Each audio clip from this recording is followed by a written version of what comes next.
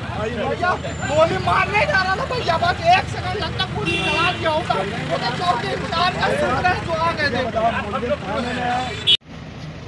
Sir जैसे कि अभी सूचना मिली थी सिविल लाइन्स के अंदर एक बड़ी घटना होने वाली थी जो अंदर उसे पुलिस ने रोक लिया। इसके विषय में क्या बताना चाहिए ये लोक सेवा आयोग के सामने एक व्यक्ति अभी गाड़ी लेकर के आया और अचानक राइफल जो है, वो तानी एक व्यक्ति के ऊपर ये अपनी मुकदमे की तहरीर लेकर के आए हैं।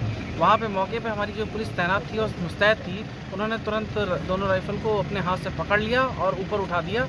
और इसमें किसी प्रकार की वैसे फायरिंग की घटना नहीं हुई, लेकिन इसमें चूँकि उन्होंने मुस्तैदी और हिम्मत का परिचय दिया तो इस वजह से एक बड़ी घटना होने से बच गई और साथ में इनकी बहादुरी को हम देखते हुए इनको एक प्रशस्ति पत्र भी दे जारी कर रहे हैं।